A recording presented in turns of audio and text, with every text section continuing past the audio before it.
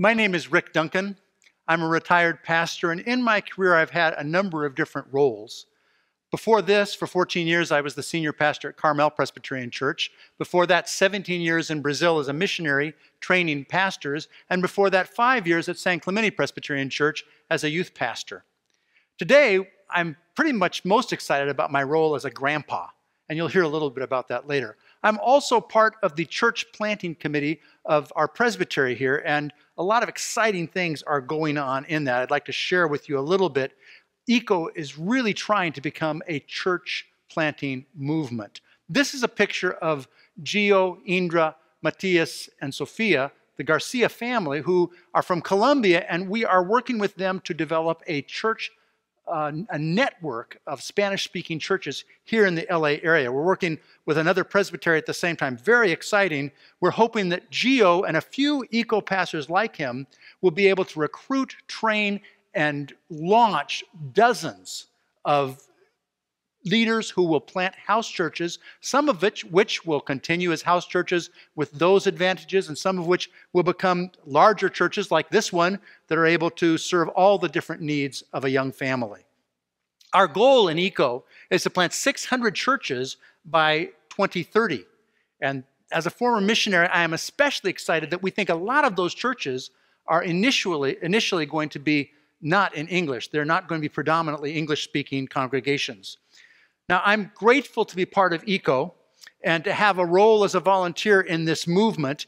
Uh, if you're interested, contact me. It's exciting, and we are going to need hundreds of people to pray and to help with administrative details and to give financially, even to be part of church planting teams. I know that True Light has planted churches in the past, and I think that's a big part of your legacy. Well, that's my introduction of myself. On to today's message. Today, we are going to be considering what is arguably one of the richest passages in the entire Bible, the first 11 verses of chapter 5 of the book of Romans. I love this passage. I know you're currently in the book of Galatians. The book of Romans is often considered kind of a companion to Galatians, Galatians being a briefer explanation of the gospel, Romans being considered by scholars the most robust, uh, most complete, longest explanation of the gospel in the Bible. So I hope that today's message will supplement what you're doing in Galatians, perhaps give you something in addition to that. Well, I want you to think for a minute have you ever daydreamed about finding a real treasure map? I daydreamed about that a lot as a child. I had read Edgar Allan Poe's The Gold Bug, and I thought that was exciting. So it's not too surprising that one of my favorite movies from 1985 is Goonies. Now, in Goonies, there are four 13 year old boys who they're about to lose their homes because a developer is coming in and their families can't afford their homes, and they find a treasure map in the attic. And they go on this wild adventure. Some high schoolers join them, and they go underground. They have to figure out clues. They're chased by criminals. They find a pirate ship and this amazing uh, treasure that ends up saving their home. So it's very exciting. I love that. And Jesus thought about treasure. He said, The kingdom of heaven is like a treasure hidden in a field, which a man found and then covered up, and then went and sold all that he had and bought that field with joy. Now, in many ways, I see the book of Romans as a treasure map. God inspired the Apostle Paul to describe for us how to find and acquire what is arguably the most valuable treasure in the universe. And Romans 5 for us today will, will display several aspects of that treasure. Now, as you listen to the first 11 verses of chapter 5, would you try to note Paul's enthusiasm as he says phrases like, not only so, much more, more than that. And would you notice Paul's immediacy as he uses the word now three times to tell us how positive our current situation is?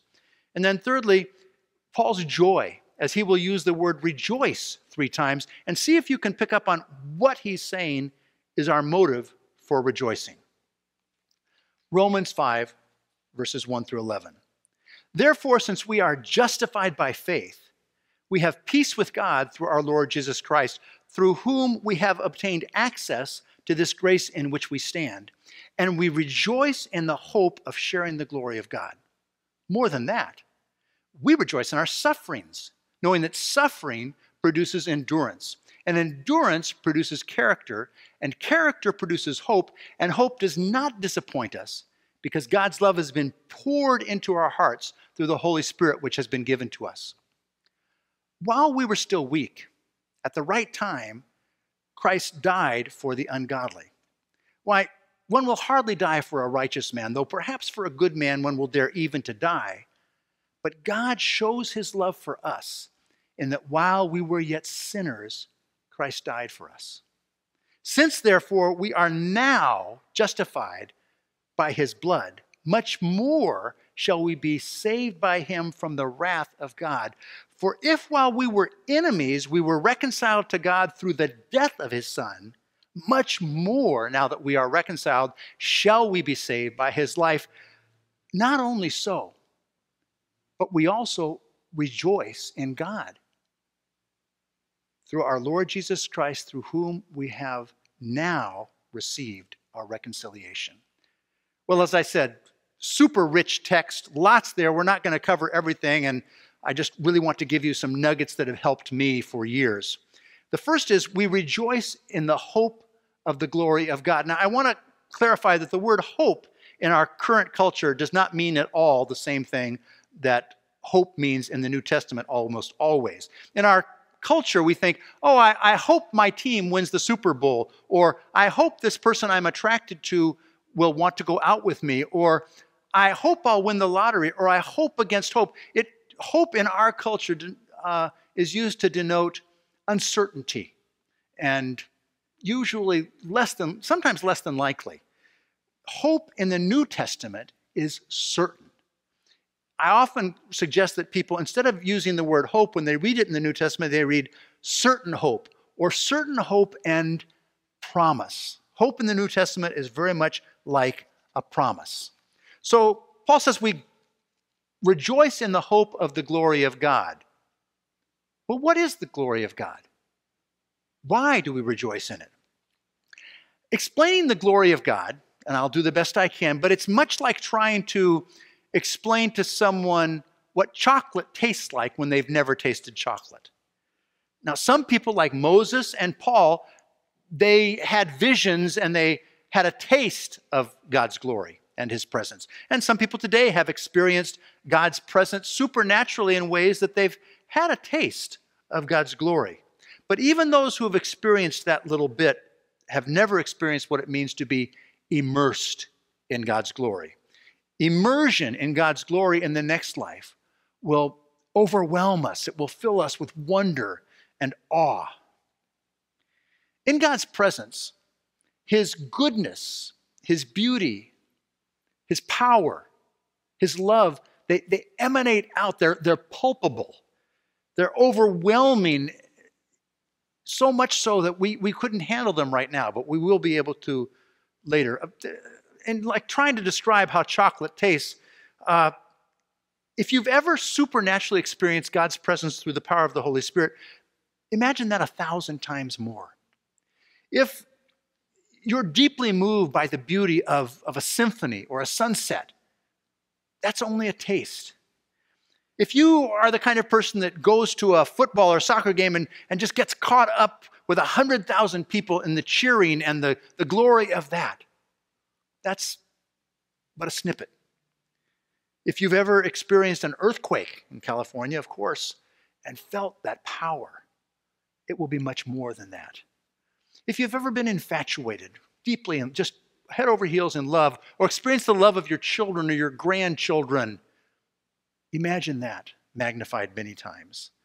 Now, these I use them just because they are some of the most moving experiences we have in this life where we see through a mirror dimly, but in the next life, face to face, we experience God's glory in snippets and tastes in this life, but in the next life, it will be overwhelming. When I was a child, I really looked forward to Christmas and the things I, were, I was going to receive. Now, I look forward to experiencing the glory of God and how overwhelming and magnificent that will be. So I try to remind myself daily that all of the wonderful experiences, magnificent experiences of this life are just mere tastes, samples, like Costco samples of what we have been promised. We will experience the glory of God. It's not a vague hope, it's a promise. The glory of God is a great treasure. It is a greater experience than anything else the universe has to offer. And the map to that treasure is here in Romans that we need to believe in Jesus Christ, that He lived the perfect life we all fail to live. He died the death in my place, in our place that we deserve. And then He rose from the dead in victory.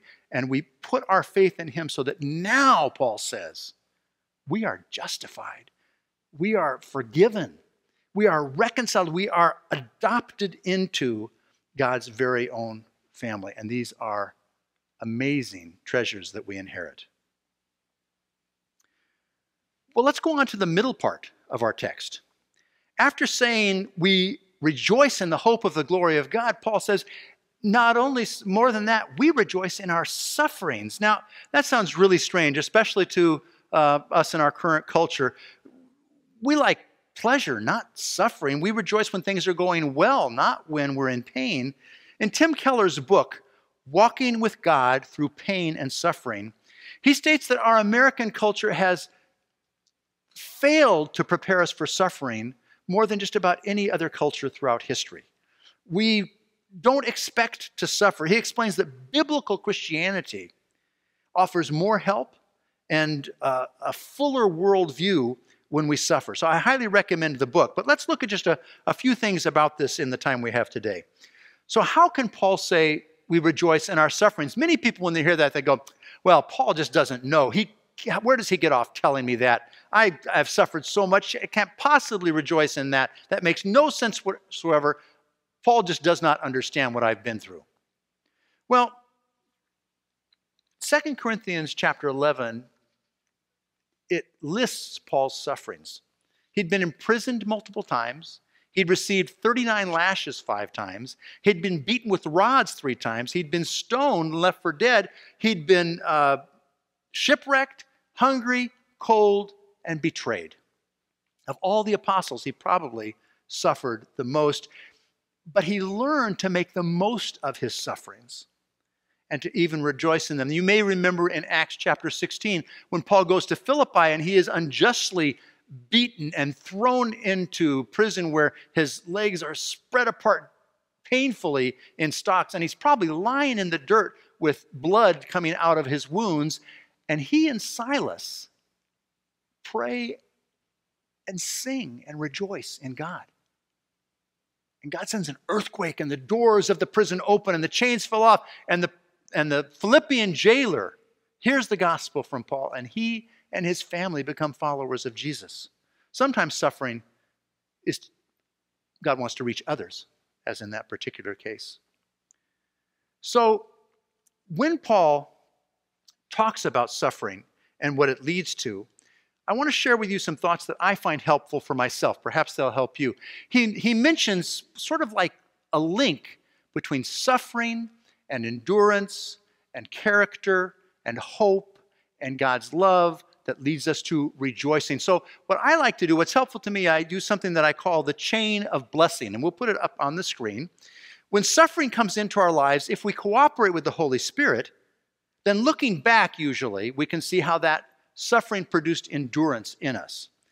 And then we can see how that changed the way we are, our character, and what we expect and what we believe. And that character then is a link connected to hope, a certain hope in the promises of God. And when we have that, God then supernaturally promises to pour his love into our hearts. And then when we see all of that and look back, we rejoice. We rejoice that God has turned the tables on the evil done to us by bringing us into a stronger relationship with him. Now, please don't misunderstand me and don't misunderstand Paul. No one is saying that evil is good. Paul is saying that God is so powerful that even when people did all these different evil things to him, God was able to turn the tables on evil and bring good out of it. It's much like what we read later on in Romans, Romans 8:28. We know that in everything God works for good with those who love him, who are called according to his purpose. There are lots of examples of this. Joseph in the Old Testament, many other things. The, the best example, probably throughout all of history, is Jesus' death on the cross. Nothing so vile, nothing so sinful has ever been perpetrated by human beings. It was Satan inspiring and cooperating with humans to crucify the Son of God. And initially, the disciples saw this and they just, oh, it's over, we're done. Evil has won. But then Jesus is resurrected on Sunday. And we find that what was the most evil thing ever done by humans becomes the biggest blessing of all time as Jesus' sufferings in our place redeem us, get a, earn us forgiveness, and bring us into reconciliation with God. So God turned the worst thing into the greatest blessing, and He wants to do that with us as well. Now, I'm going to share with you some things you can think about when you've suffered. Most of us are not as mature as Paul, so I don't recommend that in the middle of your bereavement or being betrayed or being diagnosed with cancer, you probably won't immediately be able to go to these questions that I'm going to give you. And you probably don't want to go to someone who's suffering and suggest that they use these questions. But when you have a little distance, uh, maybe even if you're able to do it in the middle of it, I would recommend that you think about these 10 questions I'll give you as you work through your suffering and try to come to the place of rejoicing. So these are 10 questions that I use for myself when I'm, when I'm suffering. First is one that throughout history Christians have kind of often dwelt on. It, it's similar to Job's, um, the, Job's comforters, supposedly. And it's often not the case, but we still need to bring it up. And that is is there some kind of a blatant sin that I need to repent of? Second, is there some obvious character quality that God is trying to produce in me? Or am I clinging to something too much and God wants to use the suffering to get me to let go? Can my suffering, if nothing else, help me to appreciate and be grateful for the suffering of Jesus on the cross or in this life? Can my suffering help me to help others when they're suffering, to have more empathy and come alongside them? Am I, in the midst of my suffering, praying that I will have the kind of attitude that will attract others to Jesus? Is my suffering increasing my hope and interest in the next life? As Paul said, we hope in the glory of God. Is the Holy Spirit filling me with a stronger experience of God's love, as it says here in Romans 5, that God's love is poured into our hearts through the Holy Spirit, which has been given to us? Am I actually rejoicing in the midst of the suffering because of that experience of God's love? And then finally, something that we will hit the 10th thing at the end of the sermon. Is the suffering showing that I actually love God for Himself and not just for the benefits I receive from Him. I hope something in there helps you. We want to proactively collaborate with the Holy Spirit as we overcome suffering and rejoice. One of my favorite quotes about how our belief in God redeems even our suffering is from Dostoevsky. It's a long quote, but bear with me. I believe, like a child, that suffering will be healed and made up for. That all the humiliating absurdity of human contradictions will vanish like a pitiful mirage. Like the despicable fabrication of the impotent and infinitely small Euclidean mind of man. That in the world's finale, at the moment of eternal harmony, something precious will come to pass that will that it will suffice for all hearts for the comforting of all resentments for the atonement of all the crimes of humanity of all the blood that they've shed that it will make it not only possible to forgive, but to justify all that has happened. Dostoevsky. Again, a very rich passage. I want to now take you through some thoughts on the final section. Let's look at it again. While we were still weak at the right time, Christ died for the ungodly. A woman will hardly die for a righteous man, though perhaps for a good man, one will dare even to die. But God shows his love for us in that while we were yet sinners, Christ died for us. Since, therefore, we are now justified by his blood, much more shall we be saved by him from the wrath of God. For if while we were enemies, we were reconciled to God by the death of his Son, much more now that we are reconciled shall we be saved by his life. Not only so, but we also rejoice in God through our Lord Jesus Christ, through whom we have now received our reconciliation. So it was while we were sinners, not pursuing God, that he showed his love for us, for you. His sacrifice, his blood saves us from the wrath of God. While we were enemies, we were reconciled to God. And now that we are not enemies, but with him, his children, Jesus lives to make intercept, intersection, to intercede for us. And then we rejoice in God, it says at the end. Now, Paul is enthusiastically expressing just how redeemed we are. Now we have been saved. Now we are reconciled. Now we have reconciliation.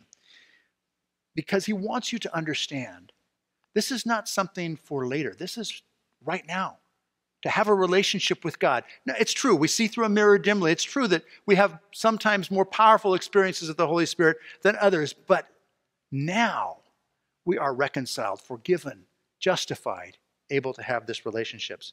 Now, for me, it is somewhat of a daily struggle to constantly remind myself just how much God loves me. See, like many humans, I would really prefer to earn my salvation. I want to make God proud of me so that I can be proud of myself. Uh, to be good enough to please God, and the fact is, no one is. So, in an effort to be proud of myself, I will find myself worrying about my performance and this, that, or the other thing. I'm sure some of you can relate to that, maybe not all.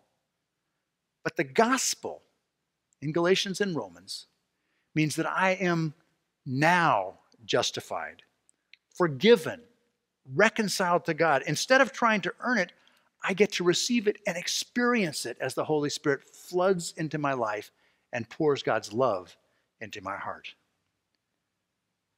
So, after being very enthusiastic about our current state of being forgiven and reconciled to God, Paul says, not only so, but we also rejoice in God. Now, people did not love their gods in the ancient world. This is somewhat revolutionary because gods weren't filled with goodness. Gods were often capricious and, and lied and self serving, and they didn't die for their enemies to adopt them into their families. They were strong and victorious according to what they understood the gods to be. And uh, you bargained with them.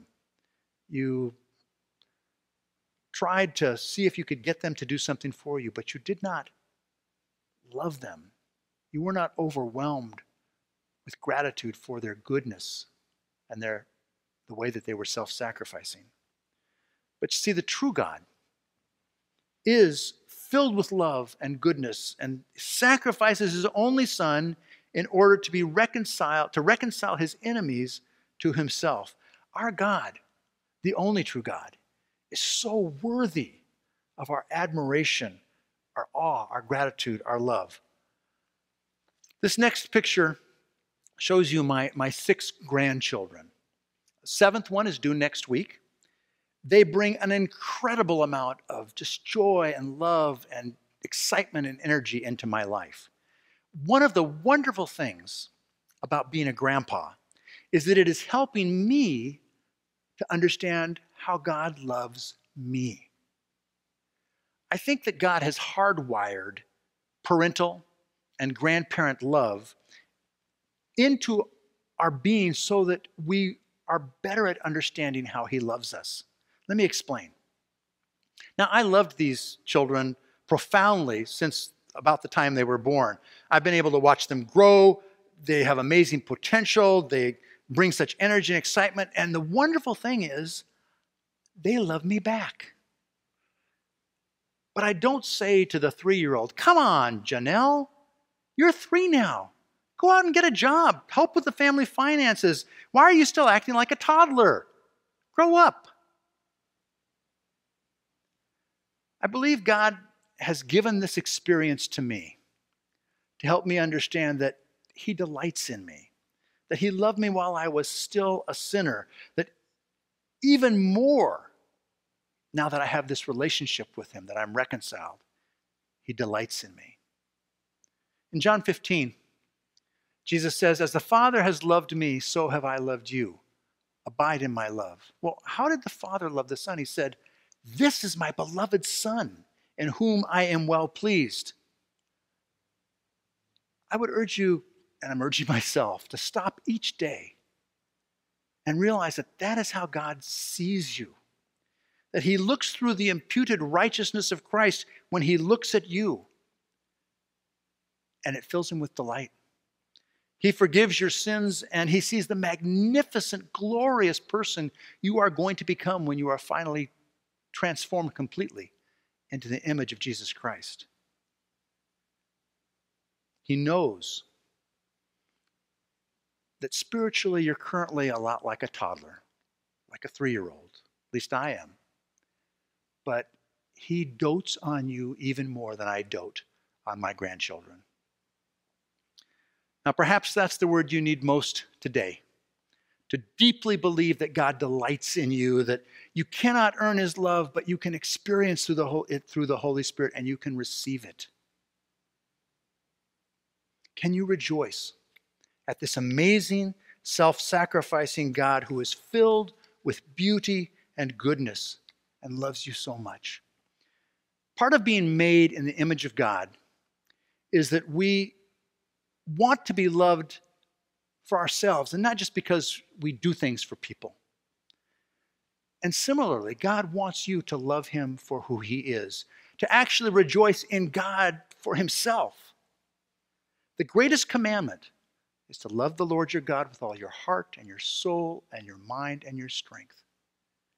One of the opportunities suffering brings is to see if we love God for Himself or only when things are going well, only because of what He gives us just as my grandchildren fill me with delight by loving me back.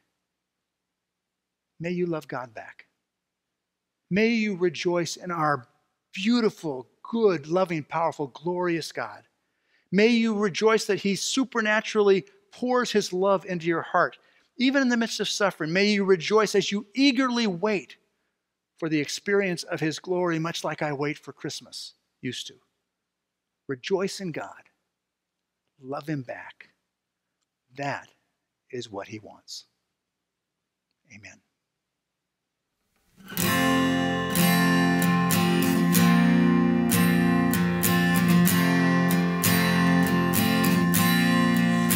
have shown us, oh God, what is good. You have shown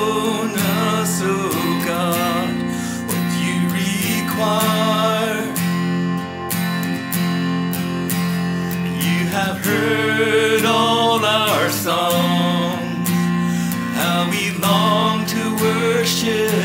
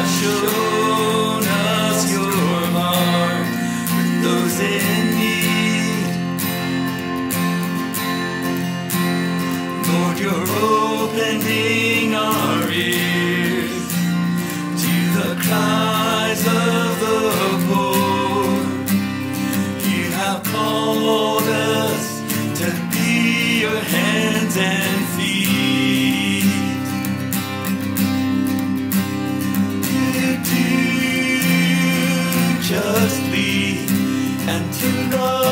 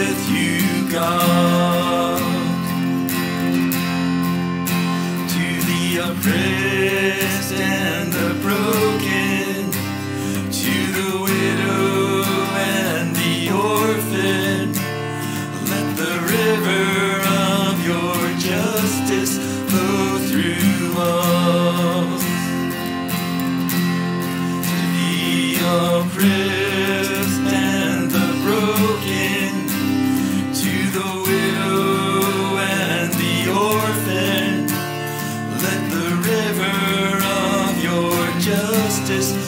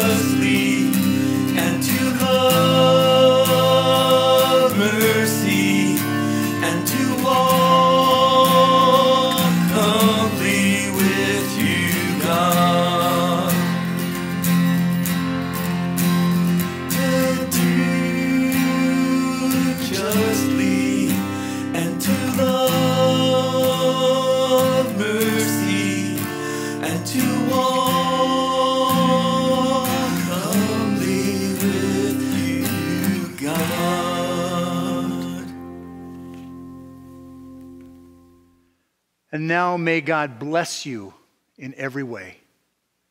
May you be filled with anticipation and excitement as you wait for the experience of the glory of God. May the Holy Spirit pour God's love into your heart in the midst of any pain that you're going through. And may you revel in this God who died for you when you were still his enemy and love him back for who he is. Go in peace. Go in the power of the Holy Spirit. Go with this God who loves you so much. Amen.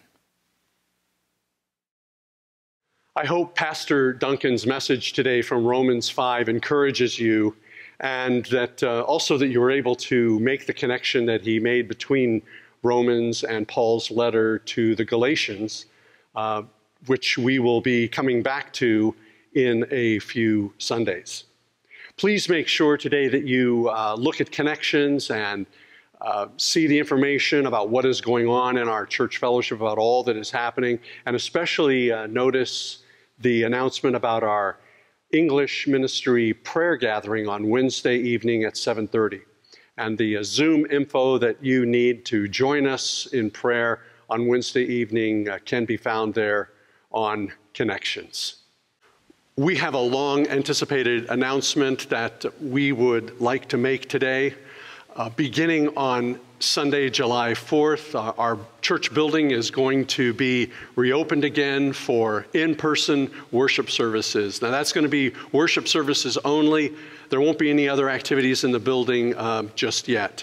Uh, be looking in connections uh, for the scheduling and so forth, but when you do see it, you'll notice that our Cantonese ministry will be worshiping beginning at 9 a.m., uh, our Mandarin ministry at 10:30, and then the English ministry at 12 noon. Also, in connections, be looking for other guidelines and protocol from our reopening committee that uh, we'll all need to be uh, taking uh, into account as we come back together again for worship. But uh, today we just wanted to announce this news, and uh, we, uh, we thank God for our reopening committee and for this uh, decision, and we're just so looking forward to welcoming you all back on Sunday, July 4th. 各位弟兄姊妹，我有一个好消息宣布俾大家。我哋嘅重开委员会经过好多个长时间嘅讨论之后呢，决定我哋会喺七月四号嘅主日 重新开放我哋嘅教会 嚟到喺教會嚟到實體崇拜。咁呢個崇拜呢，係喺七月四號開始。咁我哋嘅時間呢，就係粵語堂嘅係九點鐘朝早，國語堂呢係十點半，英語堂係十二點。暫時我哋只係開放教會嘅崇拜，其他嘅教會嘅活動呢都暫時未開放。但係我哋感謝主，我哋終於可以開放啦！請大家，我哋繼續留意群組，我哋需要一啲注意嘅開放之後嘅誒參與崇拜嘅事項。咁我哋好感謝主，因為咧俾我哋可以終於嚟到翻翻嚟到教會崇拜。我哋歡迎大家喺七月四號，我哋翻翻嚟教會嚟到參加我哋嘅主日崇拜。弟兄姐妹，主內平安。今天要報告給大家一個特別的好消息，關於我們教會啊重新開放在室內聚會的事項。我们教会经过长期的重启委员会的讨论，决定在七月四号的主日，我们将要啊全面的开放我们三个堂的啊在主日的聚会。粤语堂聚会的时间是早晨九点。国语堂是十点半，英文堂是十二点。关于重启事工的进一步的事项呢，请大家关注我们教会的网站和各个介绍的事工。